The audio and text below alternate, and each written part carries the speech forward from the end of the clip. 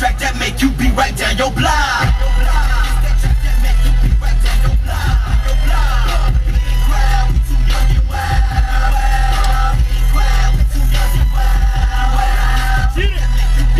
What's up? Hey, I got a question off the, just off the rip. I want to know what does Frontline Ministries mean to y'all? Like, what do y'all think about when you think about Frontlines? Or like, what have y'all experienced with Frontlines? I want to hear one person at a time. Tell me about Frontline Ministries.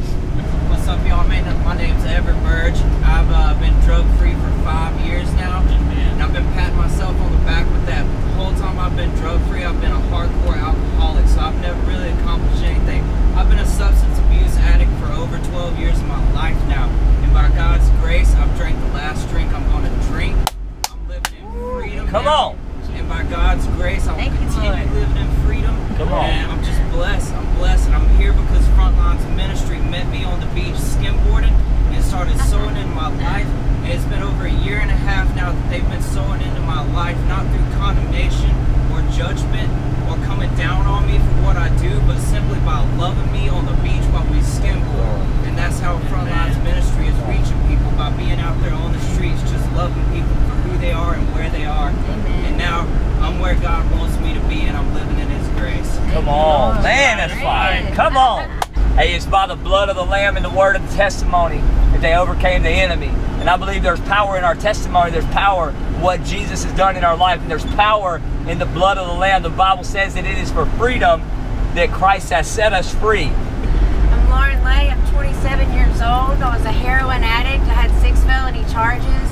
Was hopeless. Thought I was worthless. Thought there was nothing more to life than to just commit suicide. Ooh, goodness gracious. Jesus. But God has brought me from a different place, brought me out of the darkness into the light, has saved me, has made me, has redeemed me, has made me worth something. Come on. A daughter of the Most High King.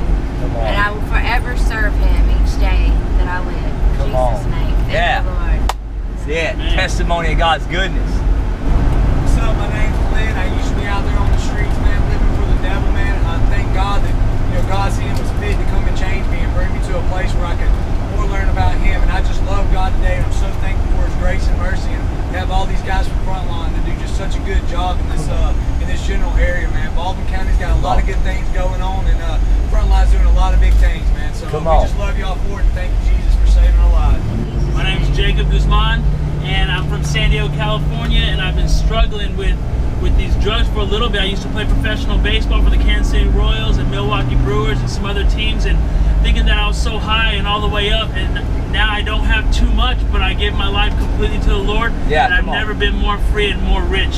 Right, big Come fish, on. baby, front lines, love you. Oh, yeah. Come on, man. Hey, I want to give a shout out to Isaac for all your labor. I remember meeting you at a hotel when it wasn't nothing but a vision. But man, this is your vision come true. These are just a few testimonies of yours on this bus. And man, Frontline Ministries and, and Big Fish Ministries tie in so well is, is because of people like that are in this bus right here that say, you know what, I come from the street, but I need to get more of a foundation. And we're so thankful for Big Fish Ministries helping us get that foundation getting straight Bible studies day in and day out, you know, getting to, to serve the community and just uh, to have a free program. They come and get, get their lives right and even get some of their court sentences wiped away because Jesus came to give mercy. Ain't that awesome? come on. Come on, man. God came to, to clean off my rap sheet. I'm just so thankful for that.